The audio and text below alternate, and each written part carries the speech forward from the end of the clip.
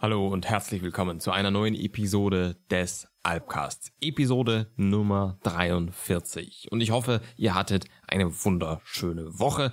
Und ich hoffe, ihr konntet vielleicht die ein oder andere Bergtour gerade an diesem wunderschönen Wochenende umsetzen. Das Wetter hätte ja perfekt gestimmt. Ich persönlich war ein wenig unterwegs und habe auch wirklich ein paar schöne Fotos gemacht und ich weiß noch nicht, ob ich die irgendwo dann vielleicht zeige. Vielleicht findet ihr dann die auch auf Instagram, auf meinem Alpen Academy Instagram-Kanal. Da werde ich vielleicht das ein oder andere Foto der Tour, der morgendlichen Tour gestern hochladen und da, da muss ich sagen, da hatte ich tatsächlich mal wieder großen Spaß daran, auch mal etwas früher wegzugehen und auch mal wieder einen großen Spaß daran, mit dem Pech der morgendlichen Diesigkeit, des morgendlichen Nebels mich zu konfrontieren und zu hoffen, dass über genau diesen Nebelschwaden dann vielleicht doch noch das gute Wetter wartet. Und genau so ging es dann tatsächlich gestern auf. Das ist ein ganz nettes Erlebnis, wenn man mal wieder etwas Pech und Glück zugleich hat, denn ohne das Pech gäbe es ja auch gar kein Glück. Das heißt, wenn wir bei schlechtem oder bei gutem Wetter weggehen und dann am Ende gutes Wetter haben, dann hatten wir natürlich kein Glück, denn wir waren eigentlich die ganze Zeit schon darauf vorbereitet, dass das Wetter wunderschön sein würde und wir haben uns eigentlich auch überhaupt nicht darüber gefreut, als wir oben angekommen sind, dass das Wetter letzten Endes auch tatsächlich schön war, denn es war ja vorherzusehen. Viel besser ist das natürlich, wenn man mit schlechtem Wetter konfrontiert wird, denn dann fühlt man sich natürlich gleich viel besser, wenn man oben ankommt und dann auch nochmal mit wunderschönem Ausblick belohnt wird. Man hat das Gefühl, etwas unter den eigenen Erwartungen zu starten, aber dafür wird man dann in die Höhe gehoben, wortwörtlich auch in der Erwartungshaltung, gerade am Ende des Tages. Sprechen wir heute über das Thema Sneakers und Flipflops. Im Prinzip ist das etwas plakativ, aber gerade die symptomatische Situation der Sneakers und Flipflops am Berg ist eigentlich recht repräsentativ für das, was heute in den Bergen tatsächlich oftmals gesehen wird, was oft passiert und was man eben auch als Außenstehender vielleicht oft beobachten kann. Nicht nur auf den bekanntesten Bergen und nicht nur auf den touristisch erschlossenen Bergen widmen wir uns heute der Möglichkeit, immer leichter und immer einfacher unterwegs zu sein. Die Einfachheit, die kommt ja eigentlich aus den 60er und 70er Jahren des Bergsteigens. Hier wurde in den Alpen gerade mit den einfachsten Mitteln die komplexesten Möglichkeiten des Bergsteigens erforscht. Man könnte natürlich noch weiter zurückgehen in die Zeiten eines Paul Preuß, wo auch hier mit einfachen Mitteln und extrem komplexen Herausforderungen jongliert wurde und eine kleine Gratwanderung jedes Mal bei einer neuen Bergtour unternommen wurde. Anders ist das aber eigentlich schon in den 60er und 70er Jahren gewesen, da die Touren nochmal deutlich in ihrer Komplexität gewachsen sind. Natürlich waren die Mittel schon etwas besser, die Schuhe wurden schon etwas robuster und trotzdem etwas leichter, das Gewand wurde etwas verbessert und insgesamt gab es mehr Möglichkeiten, sich selbst auch irgendwie sicherer zu bewegen. Aber die Schwierigkeiten stiegen rasant um ein Vielfaches verglichen mit den Schwierigkeiten der 20er Jahre. Die Ausrüstung wurde aber nur um ein wenig besser. Also könnte man sagen, wenn man die Ausrüstung in Relation zur Schwierigkeit setzen möchte, dann waren die Jahre zwischen 1950 und 1975 wahrscheinlich die beeindruckendsten im Alpinismus. Heute kehren wir bewusst in diese Zeit zurück. Wir nehmen uns die Zeit und überlegen, welche Ausrüstung wir eigentlich auf einer Bergtour wirklich brauchen. Die Zeiten, als man mit 60 und 70 Liter Rucksäcken auf Tagestouren gegangen ist, nur um herauszufinden, dass man vielleicht die meiste oder die meisten Gegenstände überhaupt nicht brauchen hätte können und sie eigentlich nur zur Sicherheit dabei gehabt hat, ja, diese Zeiten sind schon lange vorbei. Denn faktisch ist es so, dass wir eigentlich mit viel weniger zurechtkommen in den Bergen. Wir reduzieren das Maß an Ausrüstung immer weiter, nur um zu erkennen, wo eigentlich die tatsächlichen Limits sind. Früher haben wir die Limits unseres Rucksacksvolumens genutzt und alles mitgenommen, was wir eventuell brauchen könnten. Heute nutzen wir die Limits des Möglichen, reduzieren so viel wir können, um schneller und um leichter und letzten Endes in unserer Wahrnehmung auch besser zu sein. Tatsächlich liegen wir, erliegen wir hier aber einem Irrtum. Wir sind nicht deshalb besser, weil wir leichter sind und wir sind auch nicht deshalb leichter, weil wir vielleicht Dinge weglassen. Wir sind leichter, weil wir uns in unseren eigenen Möglichkeiten bewusst beschneiden. Manche dieser Beschneidungen sind definitiv sinnvoll, wenn man zum Beispiel bei einer Sommerwanderung auf 1000 Metern Seehöhe die Steigeisen weglässt, dann ist diese Beschneidung der Ausrüstung definitiv sinnvoll, denn sie reduziert Gewicht, das wir ohnehin definitiv nicht brauchen werden. Anders ist das aber bei sinnvoller Ausrüstung, die abgelegt wird, nur um das Maximum an Zeit, Leichtigkeit und vielleicht auch dem geringstmöglichen Packmaß herauszuholen. Wir sprechen also von dem Erste-Hilfe-Paket, das weggelassen wird, und wir sprechen auch vom Biwaksack. Dinge, die wir in einer Notsituation am Berg definitiv brauchen können, die werden mittlerweile auch gerne weggelassen, weil sie Platz brauchen. Die größte Steigerungsstufe in diesem Wahn ist definitiv das Trailrunning. Ein Sport, der sich in den letzten Jahren definitiv weiterentwickelt hat. Die Ausrüstung wurde immer, immer, immer leichter. Die Ausrüstung wurde auch immer effizienter. Dinge werden heute so verwendet, wie wir uns das vielleicht vor vielen Jahren noch gar nicht hätten vorstellen können. Eine Trinkflasche existiert im Trailrunning gar nicht mehr. Wir reden von Flaschen Flasks. Wir reden von flexiblen, kleinen, aus Kunststoff gefertigten Blasen mit einem kleinen Schraubaufsatz, aus denen wir trinken können. Diese werden nicht mehr in einem Rucksack gelagert, nein, sie werden vorne an der Schulter befestigt in speziellen Halterungen, die nicht in einem Rucksack liegen, sondern die tatsächlich an einer Weste angebracht werden, die wir uns umhängen. Wir laufen nicht mit einem Rucksack, denn das wäre unbequem und wäre nicht effizient, sondern wir laufen mit einer Laufweste. Diese Weste hat Platz für vier bis maximal zwölf Liter Inhalt. Da packen wir dann vielleicht noch eine Rettungsdecke ein und vielleicht noch eine kleine und dünne Regenjacke, falls es doch zu regnen beginnen sollte. In den Wintermonaten, dann kommen da vielleicht noch Grödel rein, aber das ist definitiv schon eher eine Ausnahme, denn manchmal haben wir dann für den Winter schon mal eigene Ultralight Trailrunning Schuhe. Ich möchte diesen Trend auch überhaupt nicht verurteilen. Ich möchte überhaupt nicht sagen, dass das in irgendeiner Weise schlecht oder gut ist, sondern es ist einfach nur eine Feststellung, dass diese Entwicklung in den letzten Jahren sehr an Fahrt aufgenommen hat. Die Entwicklung des Trailrunnings war aber auch ein Schritt in die Ver Verbreitung als Massensport. Trailrunning kommt eigentlich aus der Verknüpfung zwischen dem Bergsport und dem Laufsport. Es ist diese typische Kombination und dabei entstehen natürlich Mechanismen, die wir so als Gruppe und Gesellschaft der Bergsteiger gar nicht beeinflussen können, auch nicht als Trailrunner. Für uns Bergsteiger war es irgendwann die logische Konsequenz, dass wir anfangen müssen, in die Berge zu laufen, wenn uns das Gehen in den Bergen zu langweilig wird. Das ist definitiv nicht neu und es ist auch kein Trend der letzten Jahre. Schon Hans Kammerlander und Reinhold Messner haben zu ihren Zeiten, als sie 8000er bestiegen haben in den 70er Jahren, damit angefangen, auf die Berge hoch zu laufen, um sich damit besser auf das 8000er Bergsteigen vorzubereiten. Sie wollten ihr Herz aufs Maximum trainieren und haben so ihre Leistungsfähigkeit immer weiter gepusht. Reinhold Messner sagt selbst, dass er teilweise für 1500 Metern Höhenmeter gerade mal unter einer Stunde gebraucht hat. So schnell war er. Das kann man definitiv schon als Laufen bezeichnen und das auch noch bergauf und bergab sowieso. Es ging aber ihnen dabei nicht unbedingt um das Laufen per se. Es ging auch nicht darum, Abwechslung in ihren Alltag zu bringen. Es ging vielmehr um die Vorbereitung auf eine andere Herausforderung, auf eine viel größere Herausforderung, die so viele kognitive und physische Kapazitäten in Anspruch nehmen würde, dass man sich auf den Faktor der Leistung gar nicht mehr konzentrieren kann und schon von vornherein davon ausgehen können muss, dass die passen wird. Und vor allen Dingen die kardiovaskuläre Leistung eben dem entspricht, was die Anforderungen so sagen. Gut, man könnte natürlich sagen, dass Reinhold Messner auch Spaß daran gehabt haben wird, dass er die Berge hochläuft, während andere Leute mit schwerem Rucksack versuchen, da qualvoll innerhalb eines Tages oben anzukommen. Das will ich auch gar nicht bestreiten.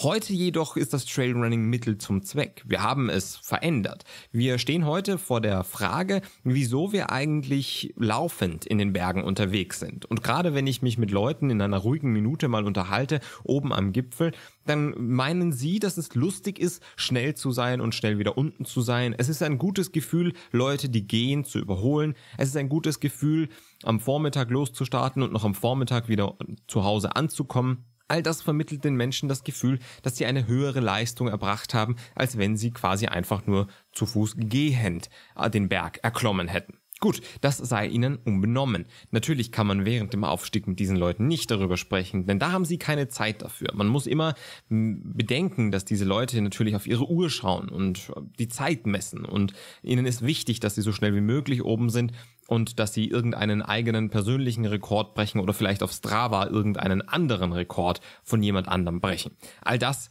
ist natürlich eine sportliche Disziplin und hat eigentlich mit dem grundsätzlichen Bergsteigen nichts mehr zu tun. Es hat sich also eine Art Subkultur entwickelt in den Bergen, genauso wie das mit den Mountainbikern über die Jahre eben auch passiert ist und genauso wie das mit den Weitwanderern irgendwann passiert ist, die nochmal eine ganz andere Dynamik in die Berge mitbringen, da sie mit einem Vielfachen an Gewicht unterwegs sind und deutlich langsamer und mit deutlich mehr Besinnung für das Wesentliche unterwegs sind. Denn Fakt ist, dass man sich natürlich nicht so besinnlich mit der Natur beschäftigen kann, wenn man versuchen muss, innerhalb von einer Stunde die 1000 Höhenmeter zu überwinden, als wenn man vielleicht dafür sechs, sieben oder acht Stunden Zeit hat. Man kann sich theoretisch alle 100 Höhenmeter irgendwo hinsetzen und sich besinnen und schauen, wo man eigentlich herkommt. Schauen, wie, wie, wie viel man schon geschafft hat und überlegen, was man jetzt für neue Eindrücke sammelt gegenüber der letzten Stunde. All das ist etwas, wofür der Trailrunner keine Zeit mehr hat. Das alles spiegelt sich natürlich auch in der Ausrüstung wider. Und diese Ausrüstung, um die soll es heute irgendwo auch gehen. Ausrüstung ist etwas, was meinen Kanal, die Alpen Academy, aber auch viele Menschen da draußen natürlich beschäftigt. Es geht darum, wie man effizient, effektiv und vielleicht auch kostengünstig in den Bergen unterwegs sein kann und letztlich das Ziel erreichen kann, das man eben auch erreichen möchte. Vielleicht möchte man eine Hochtour gehen, vielleicht möchte man einen Trailrun absolvieren und vielleicht möchte man ultralight irgendwo eine klassische Felstour klettern. All das sind vollkommen unterschiedliche Disziplinen, die ein eine Vielzahl an Variationen von Ausrüstung benötigen. Natürlich hat auch der Markt das irgendwann erkannt und stellt dementsprechend auch in jeder Subdisziplin des Bergsports fünf Millionen verschiedene Artikel zur Überwindung dieser Hindernisse zur Verfügung. Natürlich sind die teilweise etwas teurer und teilweise etwas günstiger. Aber Fakt ist, dass wir Bergsteiger generell ein Konsumproblem haben.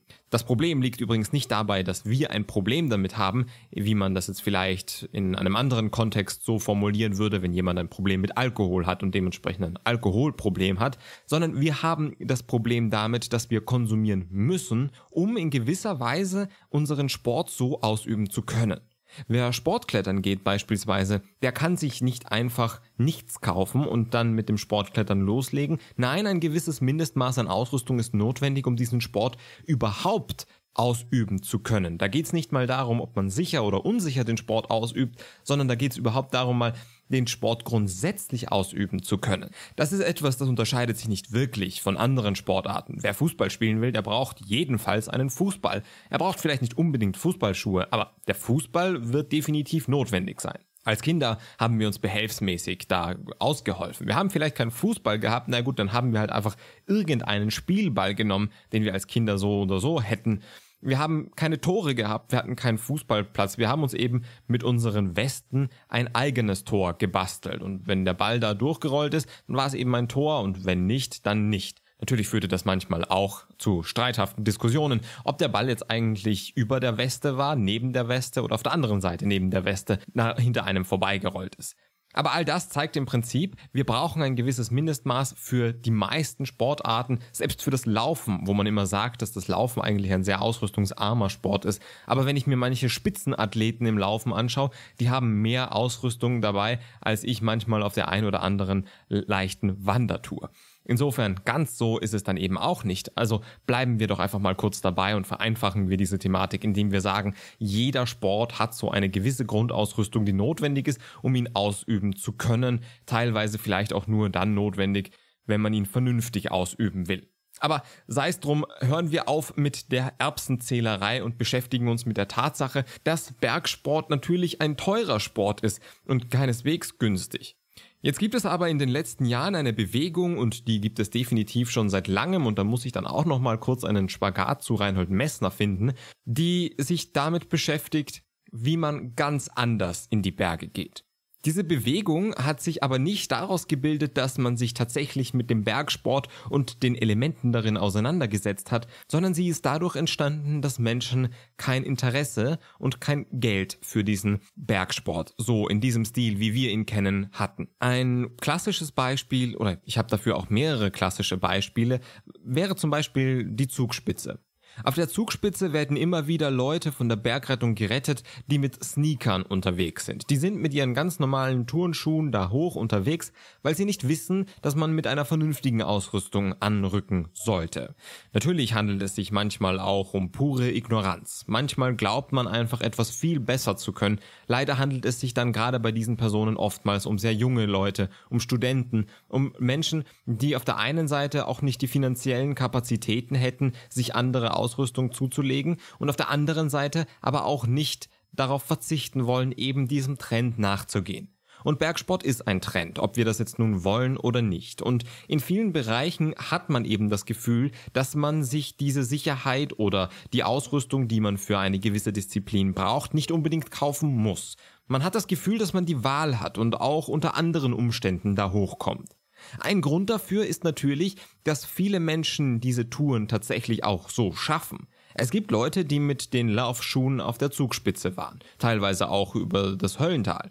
Es gibt Leute, die waren mit den Flipflops in der Nordkette über Innsbruck. Diese Menschen gibt es und die anderen Leute beobachten und fragen natürlich nach, ob das möglich ist und diese Leute, die das geschafft haben, die geben einfach nur die ehrliche Auskunft, ja, das war tatsächlich möglich, das habe ich so gemacht. Das gibt natürlich ein positives Feedback und gibt natürlich auch einen Anreiz dafür, es so zu wiederholen.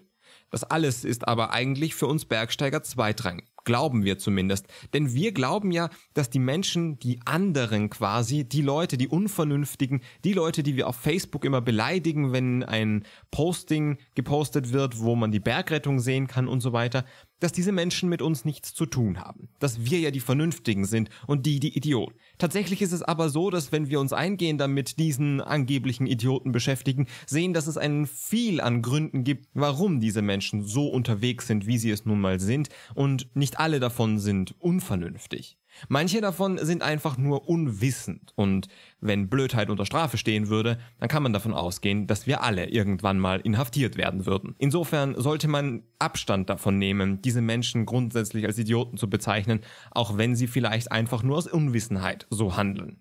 Der gesunde Menschenverstand ist etwas, was wir in den Bergen sehr gerne voraussetzen. Gerade wir erfahreneren Bergsteiger, wir sind Leute, die gerne mal sagen, naja, das hätte man ja wissen müssen, naja, das hätte man ja eigentlich einschätzen können müssen und so weiter. Wir sollten hier aber einen etwas liberaleren Zugang finden. Wir sollten hier vielleicht etwas mehr auf die Menschen eingehen und zugehen, wenn wir denn das Interesse daran haben, sie zu kritisieren. Wir sollten sie nicht kritisieren, wenn wir eigentlich von den Umständen keine Ahnung haben. Und wir sollten sie definitiv kritisieren, wenn wir wissen, dass die Umstände eigentlich dumme waren. Natürlich gibt es Menschen, und ich möchte gar nicht sagen, dass es eine Minderheit ist, die vielleicht aus reiner Ignoranz so rücksichtslos handeln und dann vielleicht mit Sneakers und Flipflops in die Berge steigen. Sie gefährden nicht nur sich selbst, sie gefährden auch andere Menschen. Man stelle sich vor, jemand würde am Höllental-Klettersteig hoch zur Zugspitze nur mit Sneaker am Klettersteig unterwegs sein und kein Klettersteigset dabei haben. Würde dieser Mensch abstürzen, könnte es sein, dass er auf jemand anderen drauffällt. Und egal ob mit Helm oder ohne, die Chancen, so einen Sturz, einen ungebremsten Sturz auf einen anderen Menschen als der untere zu überleben, die sind wahr gering. Das Problem daran ist aber eigentlich nicht nur, dass er ein Selbstgefährder und ein Fremdgefährder ist, sondern auch, dass viele Menschen hier eben nicht die Einsicht haben, dass sie tatsächlich ein solcher Mensch werden könnten. Der Erfolg gibt den Menschen recht, das sagt man ja so gerne, aber tatsächlich ist es so, dass der Erfolg keine gute oder schlechte Handlung relativieren oder erklären kann. Der Erfolg ist im Prinzip immer nur eine Momentaufnahme von einer Situation, die sich gerade in den Bergen, und das wissen wir alle zu Genüge, sehr schnell ändern kann. Jeder Mensch ist anders, jeder Tag am Berg ebenso. Und das alles zusammen sagt eben nichts darüber aus, ob der eine erfolgreiche, schlauer, besser oder intelligenter war als der andere, der vielleicht nicht erfolgreich war. Kommen wir zurück zu den Sneakern. Die Sneaker sind ein Symptom des rücksichtslosen, aber vielleicht auch des uninformierten Bergsports. Tatsächlich kann man das aber pauschal eigentlich gar nicht so sagen. Es wäre frech, jedem Menschen, der nur mit Sneakern unterwegs ist, eine pure Blödheit zu unterstellen. Tatsächlich ist es viel mehr so, dass auch erfahrene Alpinisten wie Reinhold Messner in ihren 70er Jahren mit Sneakern auf den Geißlerspitzen unterwegs waren. Es gibt Bilder von Hans Kammerlander, wie er in weißen Vans, ich glaube es waren Vans, es könnten auch andere Sneaker gewesen sein, mit diesen Schuhen irgendwo im Zillertal unterwegs war und trainiert hat, auf steilsten felsigen Bergen. Das waren Schuhe, die jedenfalls nicht für solche Bergtouren geeignet waren und er hätte definitiv auch bessere Bergschuhe zu Hause stehen gehabt, nachdem er ja kurz zuvor auch irgendwo in Nepal oder in Pakistan unterwegs war und hier fotografiert wurde mit soliden Bergschuhen. Er wollte aber leicht und schnell sein und eben dieses Training mit den 1000, 1500 Höhenmetern trainieren und das alles hat ihn eben dazu veranlasst, nur mit Sneakern unterwegs zu sein. Hier würde niemand auf die Idee kommen und behaupten, dass dieser Mensch fahrlässig und unverantwortlich handelt. Der Star-Status gibt ihm die Möglichkeit zu tun, was er will und alle Leute akzeptieren es. Hätte Hans Kammerlander bei seinem Training oder auch Reinhold Messner bei seinem Training in seinen weißen Sneakern einen fatalen Fehler gemacht oder wäre ausgerutscht und abgestürzt, hätte niemand die Dreistigkeit gehabt und zu, beha zu behaupten, dass er zu blöd, zu blöd war, mit korrekter Ausrüstung unterwegs zu sein oder dass er uninformiert war. Jeder würde sagen, dass das einfach nur vernünftig ist, in seiner Situation mit solch einer Ausrüstung zu trainieren.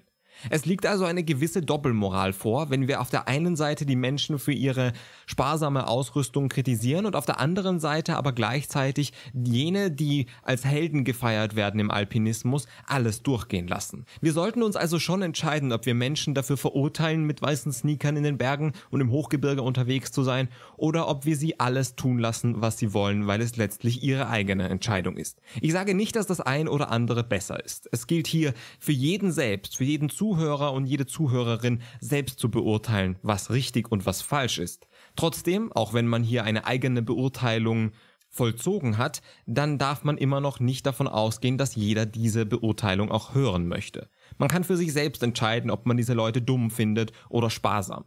Aber letztlich obliegt es auch diesen Menschen, ob sie es überhaupt interessieren muss, was man selbst denkt. Und auch das müssen wir ihnen letztlich zugestehen. Wir sollten uns natürlich fragen, ob diese Form der Ausstattung in den Bergen intelligent ist. Für mich persönlich bleibt es schon so, dass ich lieber habe, wenn die Menschen gut ausgestattet und gut ausgerüstet und vor allen Dingen auch mit Notfallausrüstung wie einer Regenjacke oder einem Biwaksack oder einem Erste-Hilfe-Paket in den Bergen unterwegs sind. Ich persönlich sehe das deutlich lieber als Menschen, die mit ihren Flipflops irgendwo in der Nordkette hängen. Ein Exempel statuiert wird natürlich jedes Mal aufs Neue, wenn gerade diese Menschen dann Hilfe brauchen, weil sie tatsächlich nicht vorankommen. Und das rückt natürlich auch alle Leute in ein schlechtes Licht, die trotz dieser Ausrüstung sehr beachtliche Leistungen vollziehen können. Da muss man aber ehrlicherweise auch sagen, dass das dann letztlich eher die Ausnahme ist, die mit den weißen Sneakern vielleicht die Geißlerspitzen erfolgreich besteigen, ohne irgendwo in eine problematische Situation zu kommen. Wir reduzieren unsere Ausrüstung letztlich nämlich auch mit einem gewissen Sicherheitsverlust. Natürlich können wir mit den weißen Sneakern oder die Farbe ist eigentlich scheißegal, mit Sneakern grundsätzlich in die Berge gehen, auch gerne ins Hochgebirge, aber wir verlieren dadurch an Sicherheit. Ganz beispielhaft dafür wäre zum Beispiel eine Gletscherbegehung mit Kategorie B-Schuhen. Natürlich sind diese Schuhe nicht perfekt dafür geeignet. Kategorie C oder D Schuhe wären viel sicherer. Aber wir machen hier einen Kompromiss und wollen vielleicht leichter unterwegs sein, weil es zum Beispiel nur ein kurzes und kleines Gletscherstück ist.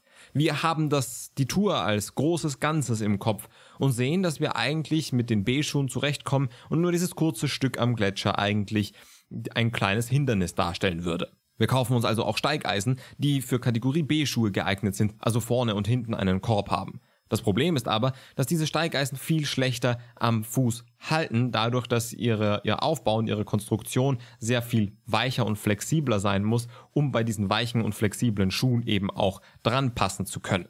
Das bedeutet, wenn hier jemand das Steigeisen am Gletscher verliert, dann steht er erstmal ohne da, was in manchen Situationen sehr problematisch sein kann. Diese Menschen haben also diesen Verzicht auf zusätzliche Ausrüstung oder auf andere Ausrüstung ganz bewusst für sich entschieden, müssen aber dann eben auch mit den Nachteilen leben. Das heißt, ob wir letztlich bewusst oder unbewusst mit der falschen Ausrüstung unterwegs sind, das ist ganz individuell. Das ist bei jedem Menschen im Prinzip anders. Das heißt, wir können nicht immer nur von der Ignoranz und Blödheit der Menschen ausgehen, wie vorher schon erwähnt. Wir müssen aber auch überlegen, wie wir mit Menschen und vor allen Dingen über Menschen, die so anders in den Bergen einen ganz anderen Zugang zu Ausrüstung und Sicherheit haben, eigentlich reden. Reden wir über sie schlecht, dann werden sie eigentlich oftmals nur stur und renitent. Denn das kennen wir auch aus anderen Bereichen. Wenn man Menschen bevormundet, wenn man Menschen erklärt, dass sie doof sind, dann sind sie oftmals eher so geeicht, dass sie dann tatsächlich erst recht das Blöde machen. Also sie erst recht irgendwie mit schlechterer Ausrüstung unterwegs sind. Und gerade wenn man ihnen vielleicht dann auch zusprechen muss, dass ihre Tour vielleicht erfolgreich war, aber es trotzdem unvernünftig ist, sie mit diesem Erfolg argumentieren. Wir wollen am Berg eine, ein Unglück vermeiden. Ob wir dafür korrekt ausgerüstet sind oder nicht, das ist vollkommen egal. Wir wollen eigentlich nur, dass weder ich selber als Bergsteiger noch der mein Umfeld, egal wie es ausgestattet ist, einem, einem Unglück unterliegt, irgendeinen Absturz erleidet oder sonst irgendwie in eine Notsituation gerät. Aber das alles wird letztlich auch zu einer gesellschaftlichen Frage. Wir müssen uns trennen von der Frage, was ich persönlich oder du persönlich davon hältst, dass Menschen vollkommen unerfahren in Jogginghose und Sneakern irgendwo auf einem T5-Weg unterwegs sind, auf einem schweren Bergweg, in zweiter, im zweiten Schwierigkeitsgrad der Kletterei beispielsweise. Wir müssen das dadurch, dass wir eben eine Gesellschaft sind und dadurch auch eine Gemeinschaft sind, deutlich ganzheitlicher betrachten und uns die Frage stellen, wie wir diese Menschen vielleicht trotzdem dazu bewegen, mehr darüber nachzudenken. Wir sind ja auch nicht auf einer Mission. Wir sind keine Mormonen und nicht bei Scientology. Wir könnten Menschen einfach nur einen Blick aus den Fenstern bieten um zu zeigen, hey, diese Ausrüstungsgegenstände, die wir verwenden, die sind tatsächlich sinnvoll. Wir verpflichten niemanden, sie zu verwenden, aber wir können vielleicht ein Tor öffnen, wo wir auch irgendwo sagen, glaubst du nicht, dass es Sinn macht, mit einem entsprechenden Schuhwerk im Hochgebirge unterwegs zu sein?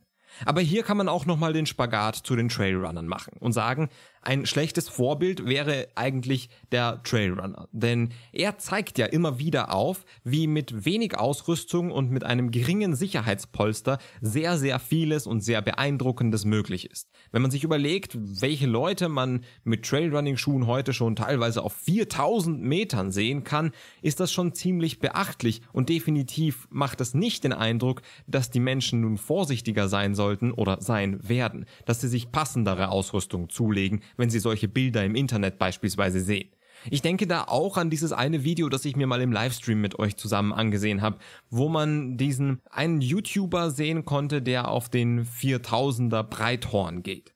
Es war im Großen und Ganzen ein schreckliches und seltsames Video, aber am Ende des Tages kann man sagen, dass er doch tatsächlich bewiesen hat, wie einfach und selbstverständlich es ist, solche Berge zu besteigen. Ironischerweise hat ja er es ganz einfach geschafft. Natürlich auch unter Strapazen, aber er als jemand, der noch nie auf einem wirklichen Berg stand, er hat es geschafft, auf diesen Berg zu steigen. Und das ist natürlich ein Signal, das er ausstrahlt, selbst wenn er danach behauptet, dass dieses Signal eigentlich so nicht ausgestrahlt werden soll. Jedes Mal, wenn ich ein Bild posten möchte, überlege ich, welche Ausrüstung man von mir dabei überhaupt sehen sehen kann, was für einen Eindruck so ein Bild vermitteln könnte. Wenn diese verantwortungsvolle Umgangsweise selbstverständlich wäre und wir uns überlegen, mit was für einer Signalwirkung wir Bergsteiger eigentlich immer wieder unterwegs sind und das nicht nur in den sozialen Medien, sondern auch direkt am Berg, dann wird uns vielleicht auch eher bewusst, dass wir einem Menschen, der vielleicht unverantwortlich mit einer abgespeckten Ausrüstung unterwegs ist, nichts vorwerfen können, da wir es selbst vielleicht gar nicht besser machen. Selbst wenn wir erfahrener sind und selbst wenn wir wissen, was wir tun, was wir oftmals oder viel öfter eben nicht wissen, als wir glauben, es zu tun, dann können wir den Menschen ja auch nicht vorwerfen, dass sie in ihrer Unwissenheit so handeln wie wir.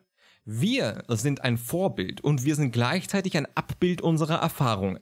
Die Menschen sollten auf der einen Seite wissen, mit was für einer Ausrüstung sie unterwegs sein sollten, aber auf der anderen Seite sollte man auch klar kommunizieren, dass wir eben dadurch, dass wir ein Abbild unserer Erfahrungen sind, genau mit dieser Ausrüstung vielleicht am Ende des Tages gerade als Trailrunner zurechtkommen. Wir Menschen sind eben doch nicht immer nur eine Momentaufnahme, sondern eine Summe unserer Erfahrungen.